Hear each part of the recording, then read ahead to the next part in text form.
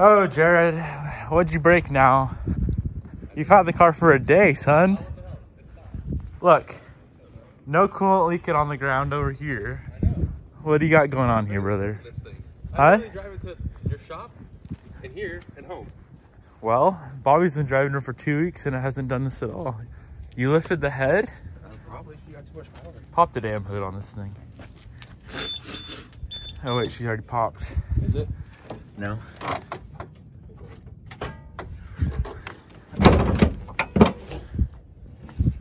Come here, start it. Yeah, fire it up real quick.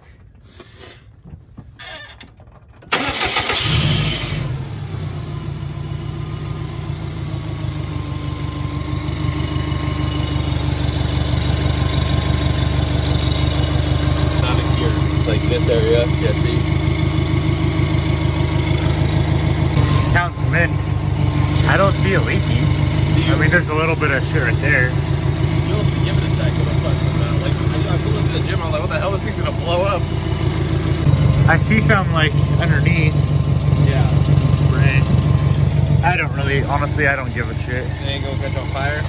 It's antifreeze. Is that what it is, you think? Oh, 100%, you can smell it. Okay. Yeah, well, it's burning up. That's why it was so low in coolant. Eh? Yeah, Might because be flat foot there. probably. That turbo sounds a little sus. A little sus. Good old Jared. Don't get my butt in the shot. Why is your guns hanging out? Yeah. Oh, What Hey. happened to the she's gelato? just she's just leaking antifreeze. Where it from? I don't know. I didn't see. A little sus though, huh? Mm-hmm. What do you gotta say to Jared about breaking your car? Yeah, what the heck, Jared? That's my favorite car. That's some damn flat foot there. It's okay, babe. I don't care.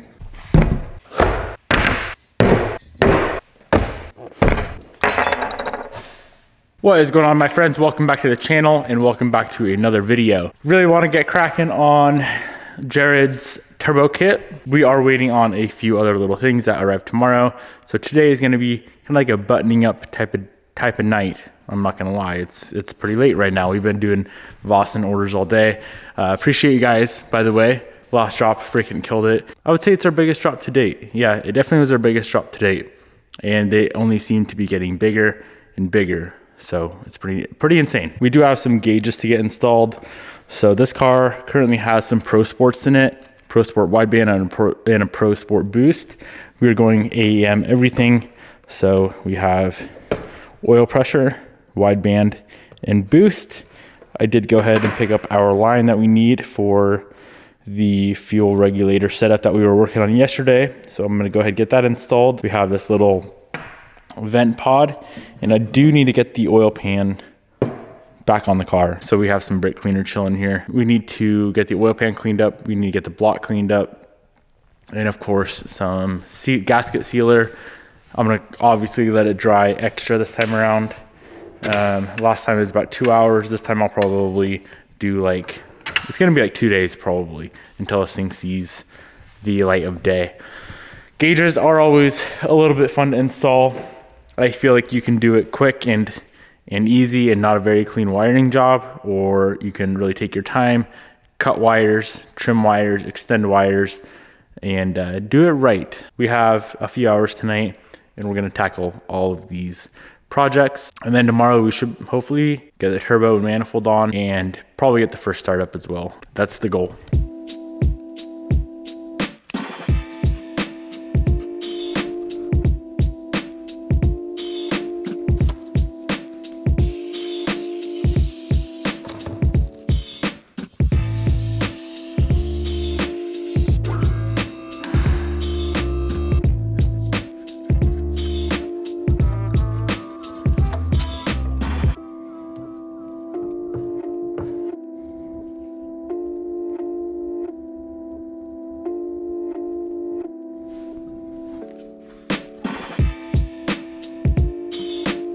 We have the pan back on. It's all sealed up. You can see a nice little squeeze around the outside. Not gonna lie, I put a little bit more se more sealant on than I normally would, just because the last thing I wanna do is reseal the pan again. So a little more sealant and uh, she's gonna she's gonna dry for a while. I also did go ahead, cut open the filter again.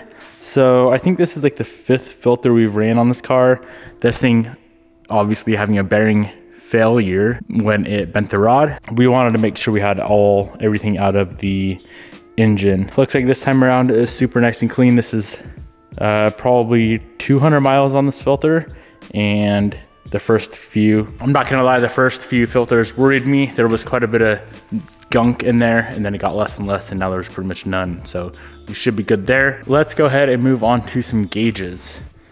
Fun, fun. Let's start off with the wideband. Being that we have the car up in the air, we do need access to the exhaust anyway. So this one here is our AFR gauge. So this is gonna be for the power and for data logging as well. We do need to set that up. Not necessarily today, but in the future, we do need to set it up to data log the AFRs. This is the main one we need right now. And of course, our wideband sensor as well.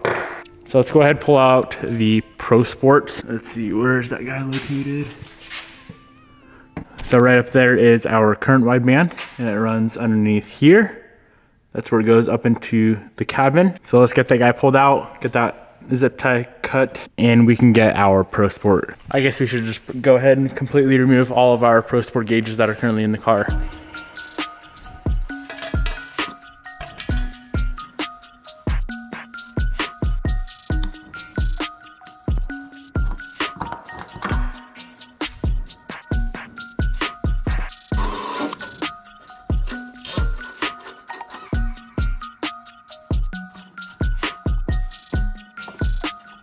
Wideband sensor is installed. Went ahead and tied it up to the heat shield there and over there. Got it all nice and cleaned up. Went through the rubber grommet right under that black cover that's full of oil from the oil pan leak. So that's all finished up. Also, I noticed with the wideband sensors, I burned them up quite a bit and I think it was because they were at a horizontal, like a just a straight out the side angle like that. This one is sticking straight up. This car's never had an issue, but like if you put it in like that, an AEM wideband tends to burn up pretty quick. So if you can, put it at an angle facing up like that or straight up is even better.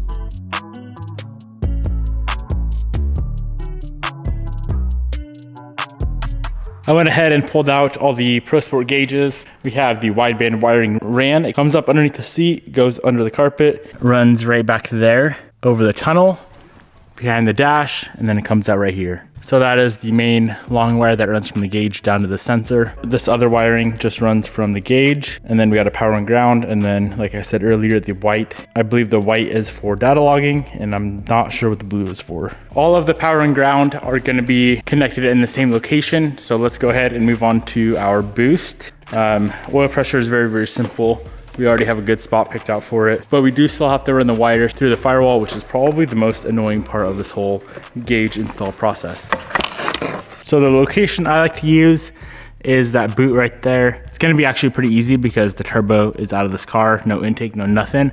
So we have plenty of access to that location. So we gotta punch a hole through that boot and then through that hole we pull the wiring for the oil pressure and then the hose for the boost. So I'm just gonna grab a little Phillips and stab a little hole in that thing.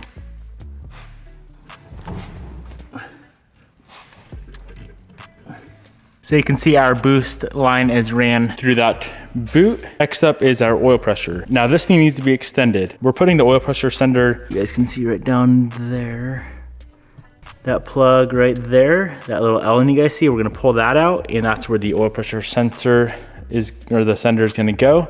This wiring is not nearly long enough, so the easiest way to get it through the firewall or through that boot, we're actually gonna cut it. We have to extend it anyway. So I'm gonna cut it right about here, feed it through, route all the wiring in the engine bay exactly how I want it routed, and then we can go in the cabin and get this guy extended to run up to our gauge.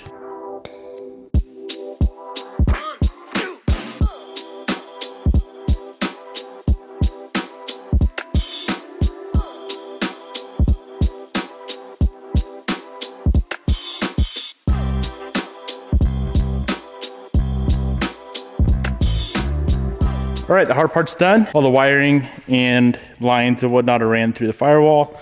I'm gonna go ahead and get our oil pressure sender and now get the get all the oil pressure stuff completely done. And then we have the boost sender, some wiring on the inside, and this thing is pretty much ready to go as far as gauges go. So this here is what that plug looks like, where the oil pressure sender is gonna go.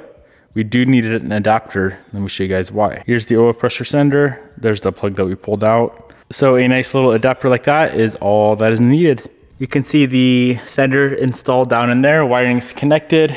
Everything else is gonna be done inside the bay. So we just have to extend the oil pressure sensor wiring and then wire up the power ground on all three gauges and we should be all finished up. So this guy right here, this is gonna go from the boost sender up to the gauge. And then in the same harness, we have the power and ground.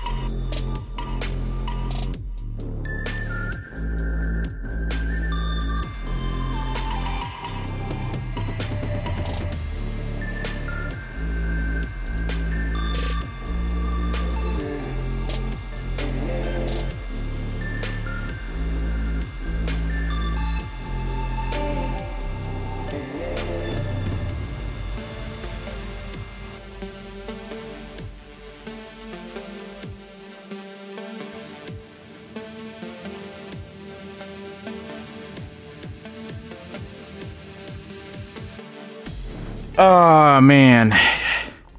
A couple hours later, all the gauges are wired up, everything is good to go. Ah, turn on the ignition, you can see our three AEM gauges. So we got oil pressure there, then it goes boost, and then wideband. And then of course down here we have the ethanol content. So it's a pretty sick setup in this car. I really, really like it. It's a little bit different than my 10. My 10 has the Ortiz pod with the gauge there, gauge there, and then ethanol's up there and oil pressure is in the same spot there. So yeah, pretty dope. I like it. We still have these two wires here. I know we need to do something with these for data logging, so I'm not gonna uh, cut these off completely yet. I did a ton of cutting, a ton of trimming. So ground goes there, and then I just did a add a fuse, which I don't really want to show you guys because it's extremely, extremely late. It's a Sunday night and I'm sitting here at the shop on a Super Bowl Sunday. And if I told you guys what time it was, you'd probably think I'm crazy. So I'll keep that to myself. But yeah, I'm gonna go ahead clean up the shop, get everything put back together in this car. We gotta put the carpet back down and get the fire extinguisher back in. Um, other than that, this thing is good to go as far as gauges go. So I'm glad we got this done now and we did it right. We, we took our time. It's all nice and clean, simple, simple yet effective, like I always like to say. And now all that's left is the turbo, intercooler, and turn this thing up to the moon. Everything that we just installed, all three gauges, all the pods that we got going on, uh, the adapter for the oil pressure sender, all that will be linked down in the description box below. If we're gonna do gauges on your EVO 10, I hope this video helps you out bit of a pain in the ass. I would uh, expect your arm to look like that when you're all finished up because wiring and stuff underneath the dash is no fun. Peace out, my friends. I'll see you guys tomorrow.